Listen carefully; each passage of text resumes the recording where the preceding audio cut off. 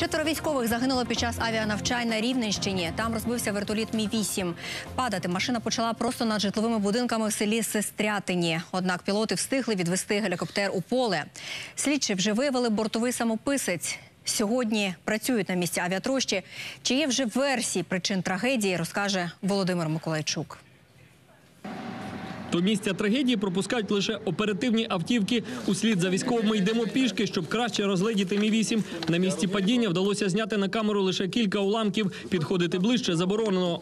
Ви собі там зайдіть з дозволу вищого керівництва, ви собі зайдіть, що ви маєте заходити з тилу, щоб ну, Трагічна звістка надійшла опівночі. Саме тоді диспетчери втратили зв'язок з екіпажем, який виконував плановий навчальний політ. Два гелікоптери поверталися на військову базу. Один вийшов з ладу. Машина стала падати просто над селом за 17 кілометрів від пункту призначення.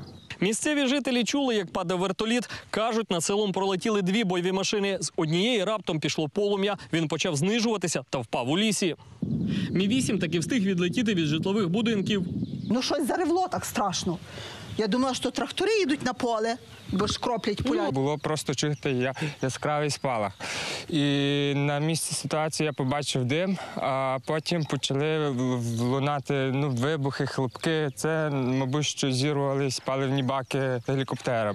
Від гелікоптера лишилися самі уламки. Їх розкидало на 50 метрів навколо. До ранку рятувальники та військові прочісували ліс. Довго не могли знайти тіла військових. Машина вигоріла вщент. Лишилося покручене залізяча. Загинули всі четверо членів екіпажу, які служили в авіаційній бригаді у бродах. У військовій прокуратурі катастрофу вертольота розслідують як порушення правил польотів. Уже знайшли бортовий самописець.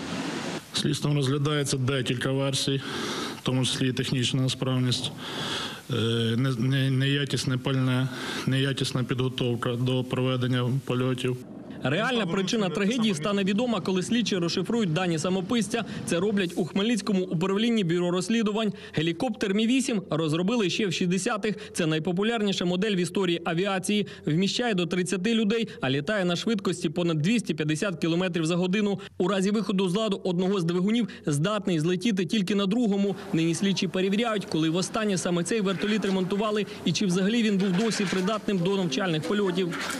літальний засіб, який був виготовлений ще за часів радянського союзу. Проводиться вилучення е, відповідної документації, а саме технічних документів, які стосуються самого вертоліту Мі 8 щодо його планових е, та інших ремонтів обслуговування. Заступник керівника авіаційної бригади вже заявив, гелікоптер був справний щойно після капітального ремонту. Володимир Миколайчук, Віктор Мищук, Олександр Стасишин, Олексій Керман. Сьогодні канал Україна. Що в ці хвилини відбувається на місці катастрофи, про які нові обставини розповідають слідчі, чи не змінилися версії причин авіатрощі, розкажемо далі у випуску в прямому включенні. Знімальна група сьогодні досі працює на місці подій.